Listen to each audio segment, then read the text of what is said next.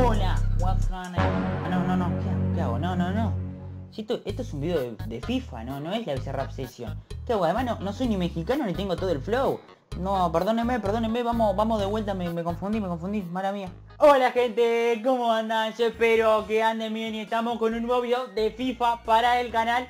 No sé qué me pasó, me confundí con la sesión, se me pegó, se ve, pero estamos acá en el FIFA. ¿Y por qué? Porque se me ocurrió una idea de juntar las eliminatorias sudamericanas con las eliminatorias de la CONCAF. O sea, estas dos eliminatorias, pimba, las metemos en una sola eliminatoria y les copó, les pregunté por la comunidad y fue la opción más votada. Así que supongo que les gustará el video y que lo reventarán con ese botón de like, suscripciones. Que hablando de suscripciones, llegamos a los 40.000 suscriptores, así que muchísimas gracias gente, se agradece un montonazo. Es una meta... Eh, previa, porque el objetivo, como sabemos, son los 100.000 suscriptores y es un pasito más que damos. Así que primero que nada agradecerles de verdad por todo el aguante que me vienen dando. Muchísimas gracias de verdad. Se les agradece un montonazo, no saben cuánto, no se lo imaginan. Compra y vende tus monedas en buififacoins.net. Con el código PDL tenés un 5% de descuento y además la página cuenta con un apartado para abrir sobres que está muy bueno, así que los invito a probarlo. En la descripción tienen todos los detalles. Pero bueno, además sabéis que me gustó esa encuesta que lo segundo más votado fue el modo carrera con este Age y eso me gusta porque no tendrá,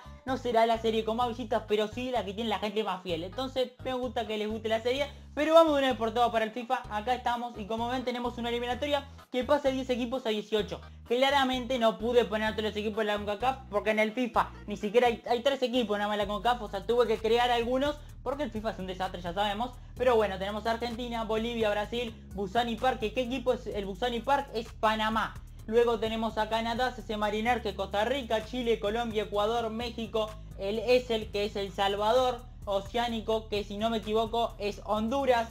Luego tenemos Paraguay, Perú, Estados Unidos, Uruguay, Venezuela, Well Phoenix, que es Jamaica. Y por último, no hay más equipos, son estos los equipos. Como ven, se van a enfrentar, vamos a ver qué onda. Siempre está la cosa, la pelea de CONCACAF, que es muy fácil, es eliminatoria, que acá son imposibles. Bueno, vamos a ver qué pasa. En los comentarios los invito a todos a dejarme qué creen que pasará, quiénes serán los 5 que clasifiquen al Mundial. Como sabemos, irían 4 directos y un repechaje, aunque al hacer este formato mezclado, quizás serían más los clasificados. Así que nada, si les gusta este tipo de videos, revienten eso con y suscríbanse, los invito a seguirme en Instagram y Twitter. Y no se olviden de usar mi código PDL en tienda mía para 15 dólares de regalo. Y vamos a comenzar de una vez por todas.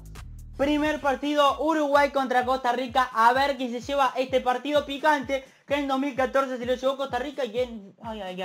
Y en 2021 se lo lleva Costa Rica también.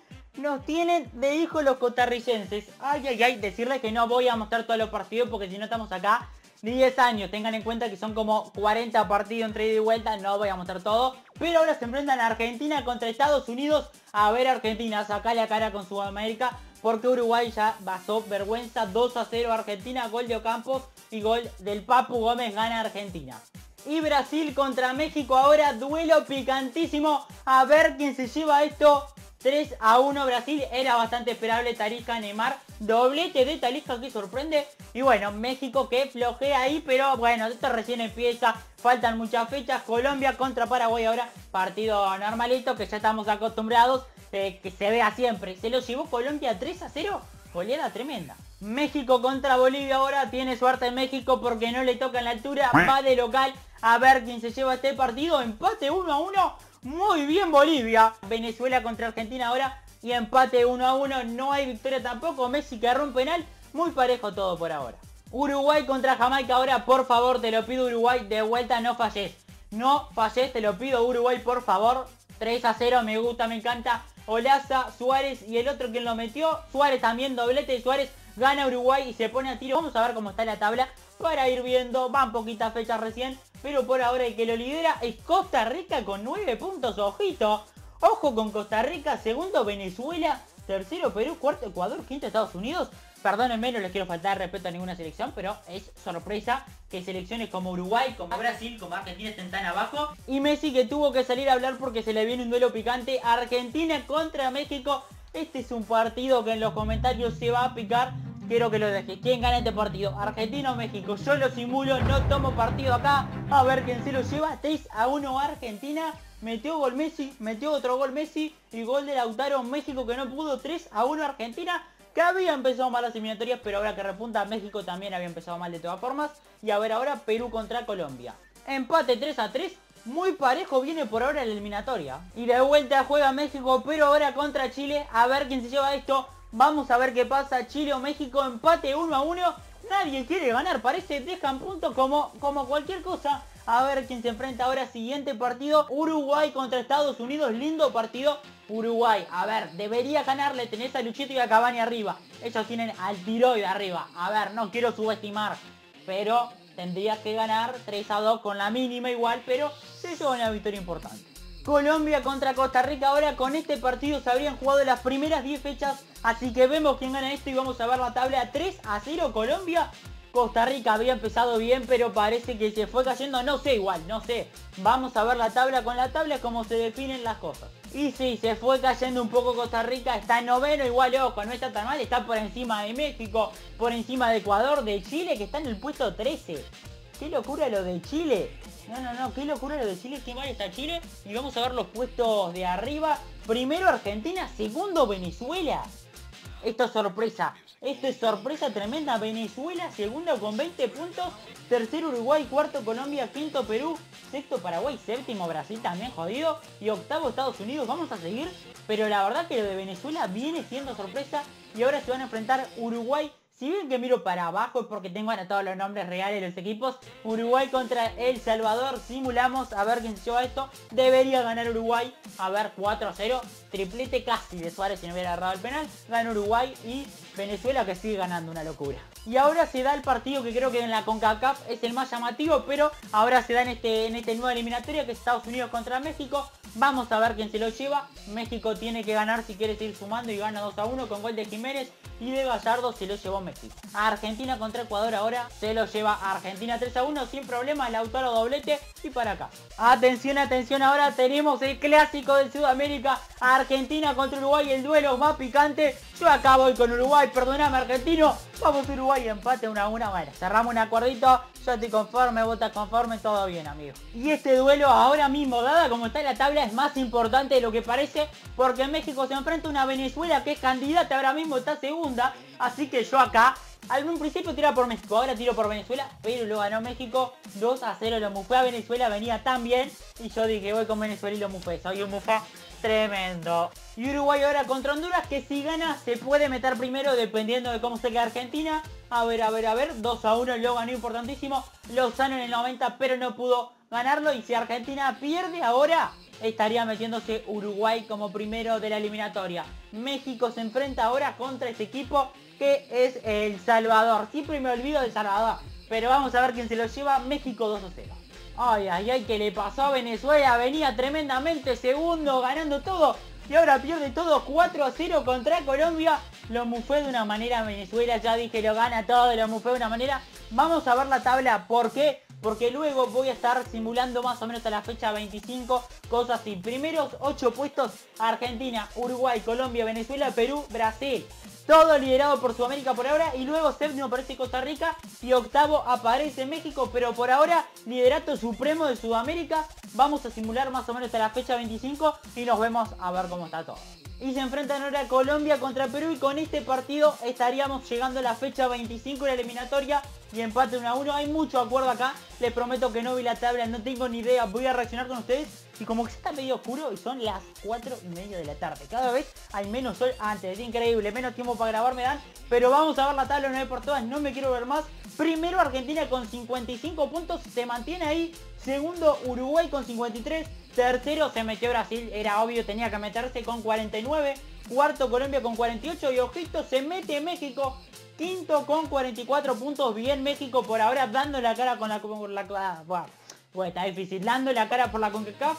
Luego Paraguay, Perú, Venezuela. Costa Rica, Canadá, Estados Unidos, Chile, Ecuador. Chile, qué flojo que está Ecuador también. Luego Jamaica, tenemos también a Honduras, creo que era, y Bolivia. Bueno, eh, la verdad que complicado. Y luego en los últimos puestos tenemos a El Salvador y a Panamá. Pero bueno, vamos a ver qué onda. Por ahora creo que era un poco esperable que México iba a ser el que más cerca estuviera a nivel. Pero me esperaba, por ejemplo, Costa Rica había empezado bien. Me lo esperaba más arriba y bueno, Venezuela se fue cayendo. Y me di cuenta que en ningún momento les dije por qué estos cuadros los representan en los países. Bueno, porque asumí que vieron el video de FIFA 14, si no lo vieron, vayan a verlo en Mundial 2014, le tienen una tarjetita, pero me tomé el tiempo de acá de equipo ponerle los jugadores de esa selección. Por ejemplo, acá ven a Costa Rica con Keylor Navas, Duarte, González, Gamboa, Campbell. Me tomé el tiempo de poner a todos los jugadores de selección. Simulamos Costa Rica contra Colombia. 2 a 1 se lo llevó Costa Rica. Colombia que pierde.